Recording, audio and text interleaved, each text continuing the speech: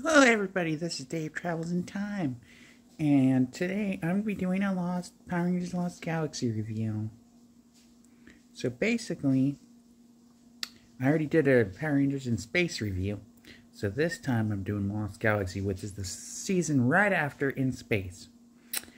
So In Space was originally supposed to be the very last Power Rangers series, but due to the good ratings, Lost Galaxy was made. And it starts with the planet on Mirinoi, about the quasar sabers. And it's basically almost like Sword in the Stone, where somebody, whoever can pull the sword from the stone, is destined to be a hero. And the prophecy would happen. Then these villains come out with including Furio, who kind of looks like this creepy, like clown creature. Um, he's kind of like a mon. He almost looks like a clown monster. Um, and he works for uh, Scorpius, who's the main another main villain, and he wants the Quasar Sabers for himself, but he can't lift the Quasar Saber from the from the stone ground, and I, I do like the characters in this series. It's pretty interesting. There are callbacks to In Space, obviously the Astro Megaship, which is in like a museum. It's set. This series is set like a, I think two years after In Space, and then uh, Leo, the main Red Ranger, who becomes the main Red Ranger, he stows away on an airplane so so he can go to the Terra Venture because he wants to be on the Terra Venture space station. And so he stows away, and then he becomes a soldier, basically with the rest of the crew. They, they kind of look like almost like Starship Troopers type uniform out, you know, trooper outfits. And so they're on this planet. Then they get attacked, and then there's this portal, and uh, Leo goes through it, and then Kai sets out to find them. The other one of the other main character who will become one of the main rangers. He takes a he's he wants to take the Astro Megaship to search for them. And then Damon comes along. He's like the main maintenance guy. And uh, he gets the ship running, and they go through the portal along with Alpha 6, who is from In Space and Turbo. And they set out to find Leo and Kendrix and the rest of them.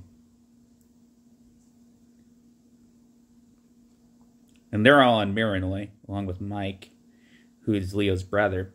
Well, Mike falls through a cavern, unfortunately, and it appears he dies, but he comes back later. Um, more on that later.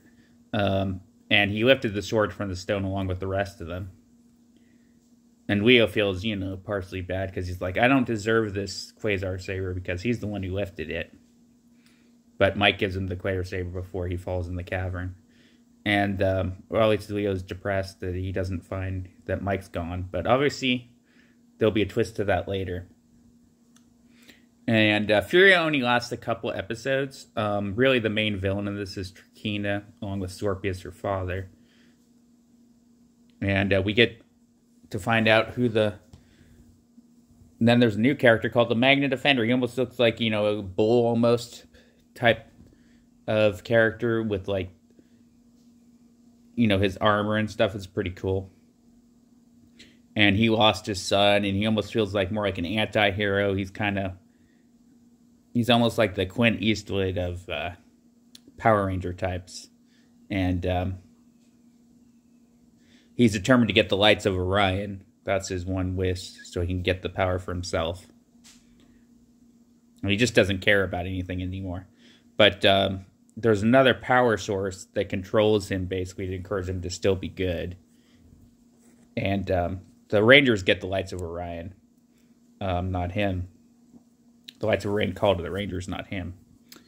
And later on, we find out that actually Magna Defender, you know, sacrifices himself, and then we get Mike back because basically he was Magna Defender. Basically, had Mike's spirit, and uh, Mike didn't really die. They just melded together. Um, but now Mike's back, and Leo can't believe it. It's just like another shock to him that he's back. And so that was a cool twist. And I like Maya because she's kind of like very into animals and nature. She's kind of almost a the jungle type character, almost like Sheena or Tarzan or something. I like that about her. She was interesting. And um, the Megazord's cool, and the Beast, uh, the Beast of the the uh, Mega the Beast for the Galaxy ones, they're cool. And overall, it's a good um, good series. And um, I do like, you know, Deviot comes along later. And tricks, you know, Scorpius saying that basically he was the one that, you know, stranded Trakeena. But really it was uh, Deviot. So basically, you know, Scorpius wants revenge on the Rangers, even though it was Deviot that, you know, stranded Trakeena. And uh, Scorpius dies. Um, the Rangers defeat him. Um, Trakeena wants revenge. Obviously. Um,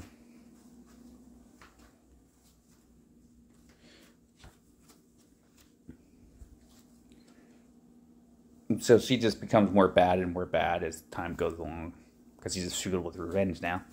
Um, but yeah, I would say all the characters are good. Um, Kendrick, I like that the Space Rangers came back um, in a few episodes to, and then the Psycho Rangers come back from in space as well. Um, so that was a cool twist. Um, but uh, Kendrix appears to die, sacrificing herself um, to prevent this bomb. And then uh, the reason why her character they took her character out is because the actor had leukemia. She had leukemia at the time, so they had to take her character out. So then Karone from In Space, who's the bro- the sister of Andros, the main Red Ranger, comes back. She takes over as the Pink Rain- Galaxy Ranger. And uh, I do like the story of like the the episode where Karone kind of confronts herself from her past because she turned this one guy into stone on this one planet. But he could tell that she had changed and she was no longer Astronema anymore. So he forgives her. So that was a cool episode. I really like that episode. So overall, this series is good. It's got a lot of twists and turns, and then Mike becomes the Magna Defender. Magna Defender gives him the power. But the only disappointing thing is I wish the Magna Defender, I wish Mike had been the Magna Defender the whole season instead because in the last three he uses his powers.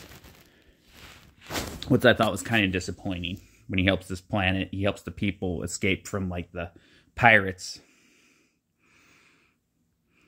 Space pirates.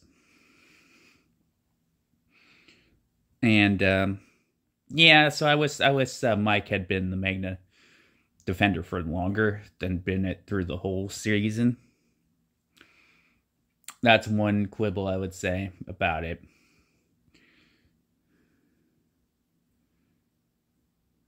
It's cool have the, you know,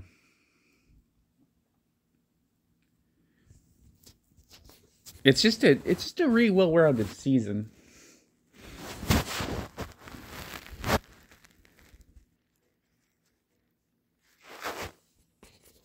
And uh, Trakeena just gets more and more bad. Um, basically, Deviot and her merge because he wanted the powers that Scorpius had. But they fight over it. And um, he pushes her in, and then they basically merge, so she becomes more evil. And her eyes look totally possessed. And um, she's very creepy, too. You know, once that happens, really creepy and then she becomes a full-on bug basically at the middle of it because she you know she basically uh catacombed into becoming a full bug at that point. So she almost looks like a praying mantis or something. Um kind of creepy um so that him her and leo fight. And that's like towards the end of the series. Yeah this big fight. To the death almost.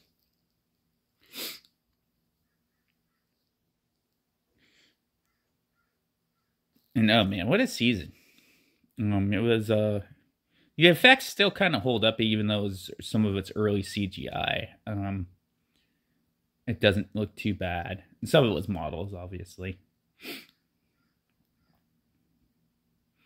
But yeah, I would say the season had some good points, and uh, you know, and I did like Mike saying, you know, that he deserved the uh, the Quasar Saber did call to Leo, and that he deserved the Red Ranger power, and um, yeah, and it's cool the different personalities. Kai's very like he's very like you know, he's very by the book, you know. And Leo's kind of you know the more carefree, you know, kind of messes around type of character. And Damon, he's like the super smart maintenance type character, and then you have Maya, who's the more jungly, naturey character, because that's you know where she was from, Mirinoi, and um, and I just like this this season. It's just um, I did like the episode too, where it appeared like her friend was back, Maya's friend, but it turns out it was just a monster pretending to be her friend from Mirinoi. Yeah, overall it's a decent season. I'm gonna give this an 8.9 out of 10. 8.9 out of 10 for Lost uh, for Lost Galaxy. Um, it's a pretty damn good season. And then next, I guess I'll be reviewing Lightspeed Rescue, huh? And then, oh, one little thing I forgot to mention. At the end of the series, Kendrix comes back because once they put the, the swords back, the Quasar Sabers back, so he comes back to life. So that was cool. Yeah, so overall an 8.9 for this series. Next, I'll be reviewing Lightspeed Rescue.